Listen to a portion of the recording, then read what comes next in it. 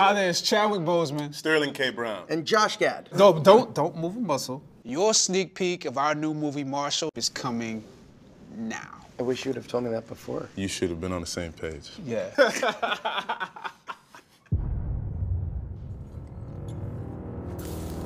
You gentlemen are making a big mistake. This here is Mr. Thurgood Marshall. Man is an attorney. You will treat him with the respect that he deserves. My great granddaddy, he was a slave.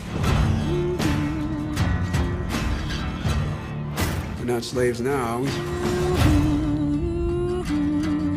We've got weapons we didn't have before. We've got the law. Baby, you go into these towns who've never seen a Negro lawyer. Hey, boy! You need to be careful. NAACP. Very good. You're going to Connecticut. Joseph Spell, Negro servant attacked socialite in her own bedroom.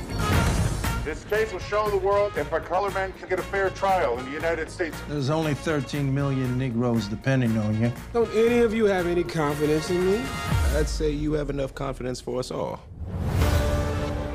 I only represent innocent people, people accused because of their race. That's my mission.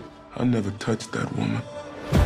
I need a partner who the jury can relate to. Sam Friedman. Good to meet you, Sam. Hey, give me a hand with these, would you? What have you got in here? Cement? Guns. Books, Mr. Friedman. You just sweep through town, stirring up all kinds of ugliness. My life is on the line here. Hey, Attorney Friedman, hold on a minute. What do you want? You're one of us now, Sam. A real fighter. Step away, you can't take the heat on the battleground. Neither of them have been telling us the truth. He attacked me. I'd advise him to accept the deal. You lied in a sworn statement. Why would you do that? Why'd I lie? Because the truth gets me killed. You can't deny me now. Tunnel vision. If you want freedom, Tie me down on a mission. you're gonna have to fight for it. Stop me now. The only way to get through a bigot's door was to break it down.